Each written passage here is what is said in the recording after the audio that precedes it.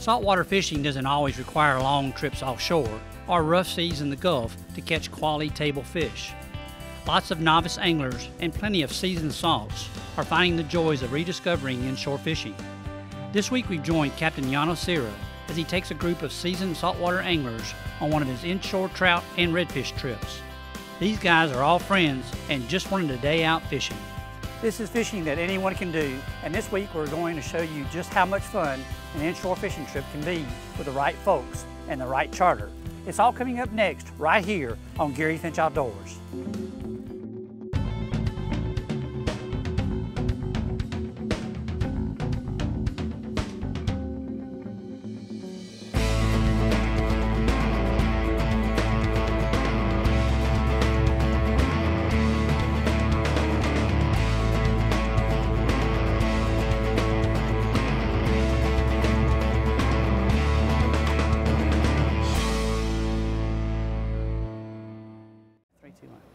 It's the perfect morning for fishing. Let's step aboard with Captain Yano Serra and his customers to see what is planned. Yano? Well, we're leaving out of Battery today. Beautiful little morning. We're gonna run out. We're gonna try to catch some speckled trout. Then we get through that, we're gonna slip back up in that marsh and see if we can catch some redfish. We got some uh, some nice cut mullet we're gonna try. We got some live shrimp, and we're just gonna mix it up today. It's it's uh, September, the first week of September and fall's in the air. The water temperature's starting to cool down just a little bit. The white shrimp's starting to show up. So uh, let's just see what happens today. A quick trip ahead of the sun had Yano getting his team of anglers ready to drop. Leisurely, take you the blind. I come over here, I got my iPilot set up. It's gonna be hard to see it with that sun, but there's some structure right here. And we're over here in the Mississippi Sound, and it's the first week of September. The fish is still holding out in this deep water. The water temperature's still a little high. It's starting to fall a little bit, come down. But we're hooking our shrimp. We're getting live shrimp, live crickets. Putting one through the head right in front of the black spots. Okay, we set up about 12 foot deep. It's 14 to 15 foot of water right here. And I'm trying, I got it set up where we can throw it up current from the structure and we're letting it float down past the structure. And when it gets down, the fish is ambushing it. And when I say ambushing it, they ambushing it. So he's gonna pitch it out there and I'm gonna get another couple more ready and we're gonna see if we can go ahead and catch a few of these. Then we're gonna go look for some redfish. Give it a pop and then let it drift back. Roe Burton wasted no time dragging an early morning trout off the Swing structure. him in the boat. Swing him in the boat. There you go, that's a keeper. How long did it take you to catch that fish? 13 seconds. 13? I thought it was 10. It's Spurdy. Y'all keeping fish today? Yes, We gonna eat fish? we're gonna eat fish. Okay, let's put him on some ice. I got it. Wilson Hawkins showed that the same technique could also be done at the front of the boat. We boat. need a net. Oh, that's a good one. There he is, fish on. It was beginning to look like Earl McMurphy might also have found his favorite corner of the boat. Yes, sir.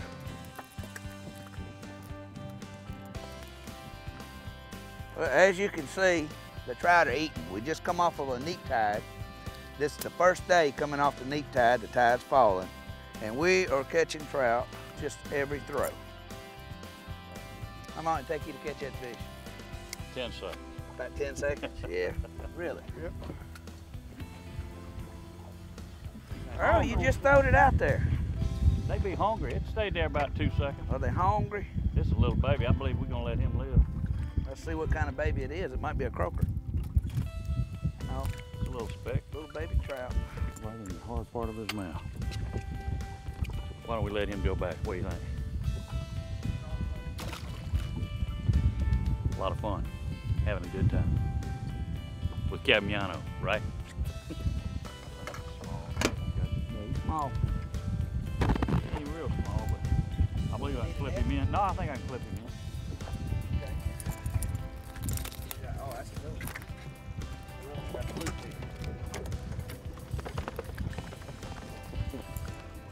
They are slippery.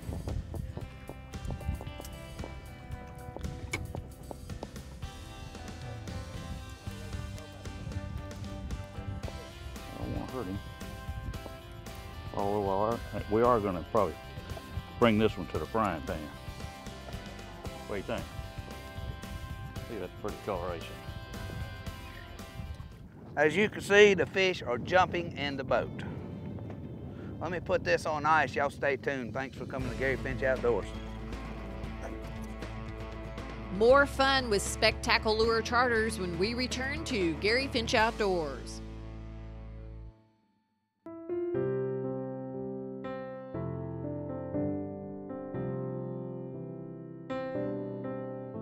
The red drum, more commonly known as the redfish, is the most popular inshore fish for both sport fishing and dining.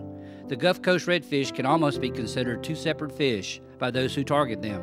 The fish that populate the Gulf waters, called bull reds by anglers, can reach lengths exceeding 3 feet and bounce the scales upwards to 40 pounds. Pound for pound, the younger inshore fish fight just as hard as the mature offshore fish and are the perfect light tackle game fish. They spend the formative years of their life inshore to take advantage of dining on the rich tidal diet of minnows, shrimp, and crabs. But they will need to grow rapidly before moving into the secondary phase of the open Gulf to become adult bull reds. The redfish is recovered from the overharvesting that occurred in the 1980s during the blackened redfish dining craze that severely affected Gulf Coast stocks. Since that time, the redfish has come under federal protection and is no longer considered a commercially harvested fish. During his term, President Bush designated the redfish to become a national game fish by executive order.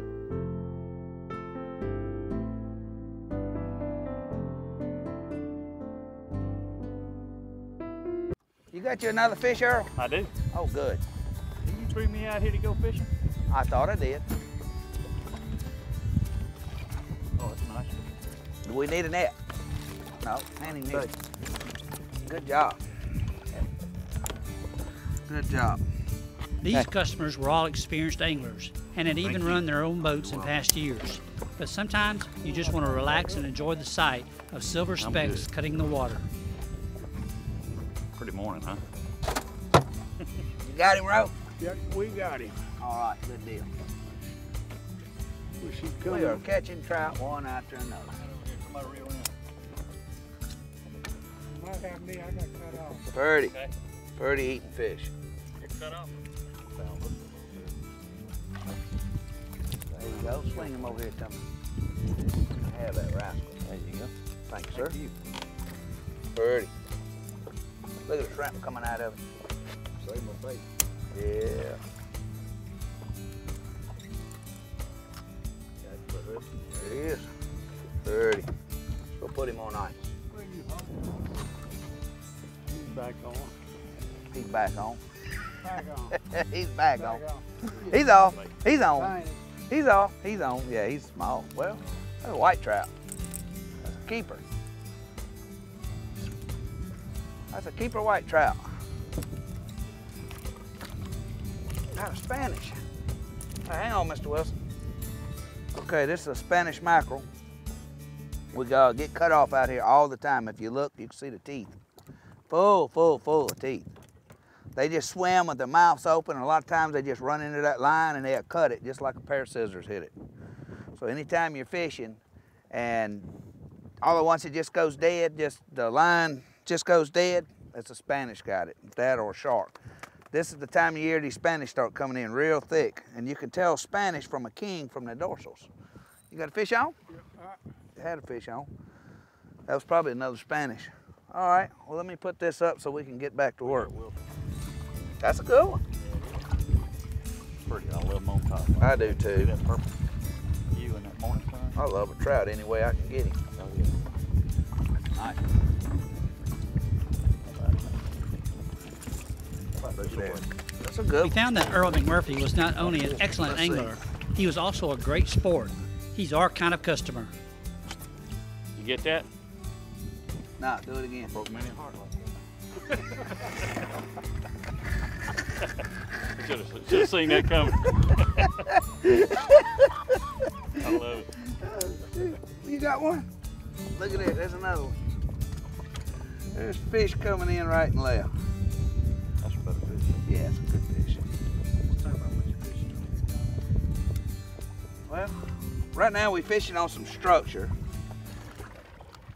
It's 15 foot of water right here. The fish is holding a little deep.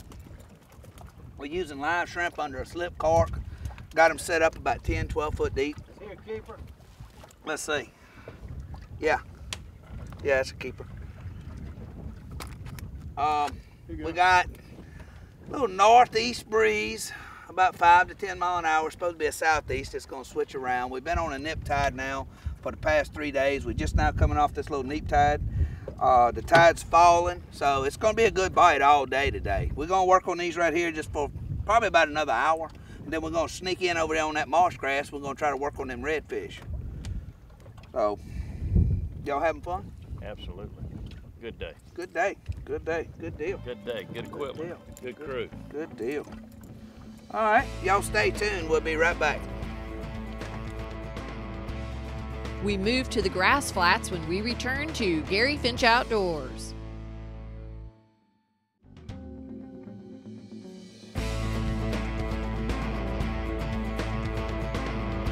Put him in the boat. Put him in the boat. Nice fish. Put him in the boat. There you go. Nice. Let's see here. I got him. You got him? Yeah. As you can see, we're still catching fish, one after another. It ain't a dull moment went by today. Pretty fish. Uh-oh, look at here, here. Get him. There's a fish on. Fish on.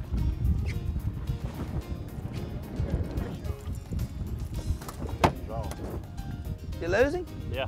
Here, I got it. You got him? I'll send him over the road. All right, put it back in the rod holder. There you go. Good fish. They're getting better. Yeah, that's what it is too. I believe. No, that's a big trout. Big trout. Yeah. Let me help you out there. Stop. That's a good one. That's a real, real good one. That's probably the biggest one of the day. You said you was gonna get a big trout, didn't you? Well, Sure did. that's back when I thought I had to pay for this. Yeah. I just hate to tell you, you still got to pay for it. yeah. We'll be supper tonight somewhere. Yes, sir. The wind was doing exactly what Yano predicted. It was increasing and switching. This was the signal to run into protected waters and change tactics. Inshore marsh crash would be used as a barrier against waves and wind. Even the birds were making a change in their fishing plan. All right, this is something I've been I started doing about a year ago, and it's really been working on these redfish. Is I buy about three or four pound of market shrimp. I get me some cut mullet. Got me a bat from the dollar store. Cut the end out of it. Made a wiffle bat out of it. I put me some shrimp in there. Big one. What I'm gonna do is chum. I'm gonna chum for these redfish. It really works good. Now we're back here in this marsh. There's a lot of fish back here. We just got to get them concentrated to a certain area. All right, now the idea is to try to throw this further and I can throw it by hand. I'm gonna try to sling it all out there. Look at there. There's no way you can throw that little bait that far by hand. Now we're gonna give it just a minute or two. We're gonna see if the redfish is just gonna congregate over there and then we're gonna start wearing them out. Okay, I'm back here in this little bayou. It's a muddy bottom, but right here there's a little island of oysters. There's shells. There's a little gravel. And we got that chum that, that automatically already attracts redfish. It's just from the oysters because they go in there to get the crabs, the minnows. There's little shrimp everywhere and they love to be around that structure. So we got it chummed up right now. We Some of them's fishing with live shrimp. We got a piece of cut mullet on this one and we're just gonna try to float across it. It might take a little bit for the redfish to come in and find the chum, but it's just, it's just like snapper fishing. You chum and, and they're gonna come. So we, we're gonna give it just a few minutes and see. Earl, got your redfish. Yes, sir. I say, we make that move. The wind picked up out there on the trout. We come up here and catch these redfish. chum them up. Pretty red fish. Now we're over here in Mississippi. It's got to be 18 inches in Mississippi. Alabama is 16 inches. Oh, he's 20 and a half inches. That's So- shell. That's half shell, you're right. That's shell. Yes, sir. No doubt. sixteen, isn't it? He's 20 and a half. Stand up, Mr. Rose. Jack Hill, let him run a I can't I can't stand up without using my arm, and my arm's killing me. You got that pole?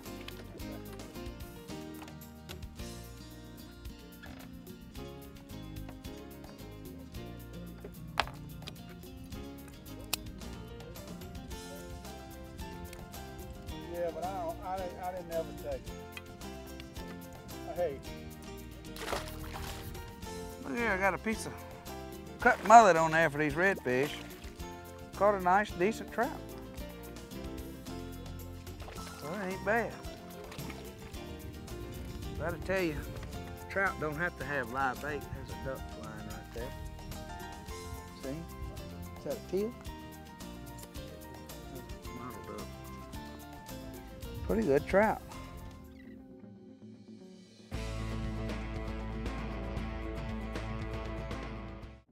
In order to make it back home, we had to travel from Mississippi waters back to Alabama. That meant we had a lot of grass to sample before the end of the trip.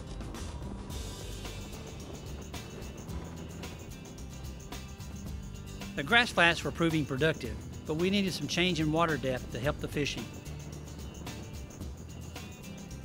redfish, but there is trout here. I'm gonna deepen you up some.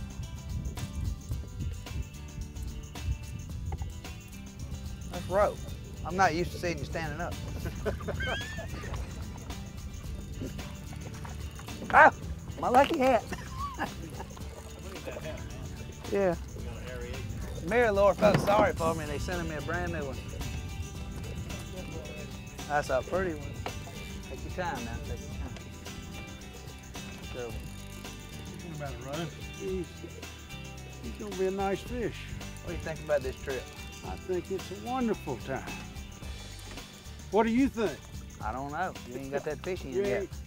you ain't got paid yet. you? That's right. and buy lunch.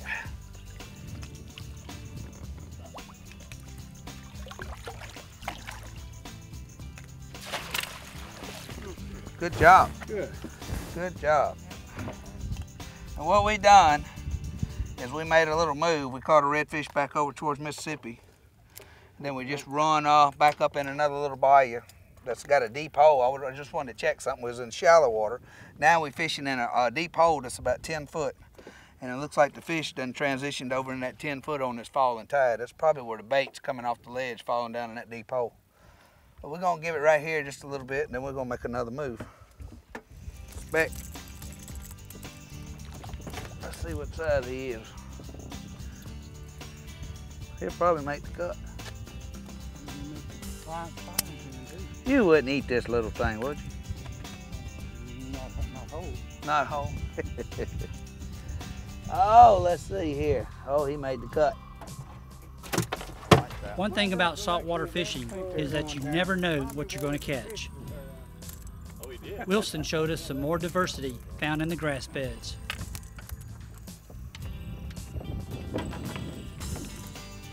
Nice white trout. Y'all saving white trout?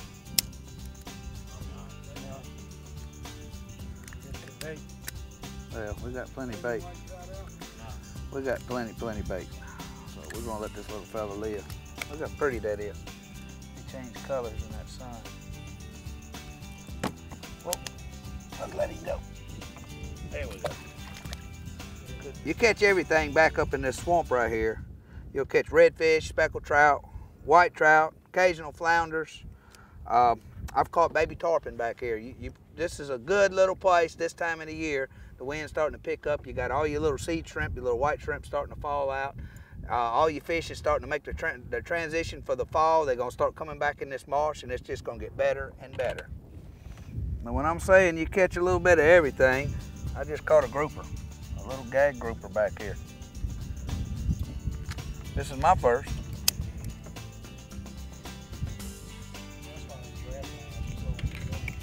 The ecosystem.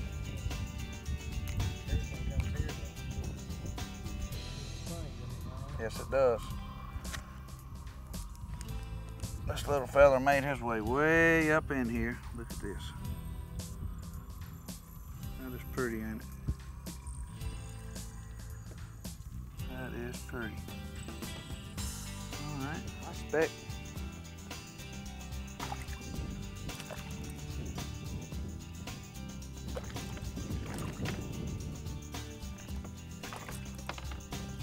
Well, fellas, y'all ready to wrap it up and head on in? Yep, yep, sir. Let's head on in, go clean all these fish. Good, I'm glad you enjoyed yourself. We'll go clean these fish. We, I think I think Wilson said he'd pay you now. Oh, what? Wilson gonna pay me now? Well, I thought we got some sort of uh, clearance. Yeah, we did. Well, I hope y'all enjoyed this uh, morning of fishing. Y'all stay tuned, and we'll see y'all next week on Gary Finch Outdoors. Special thanks to our guest host, Captain Yano Serra, and his customers for allowing our cameras to join him on his spectacular charter trip. We look forward to seeing you next week on another episode of Gary Finch Outdoors.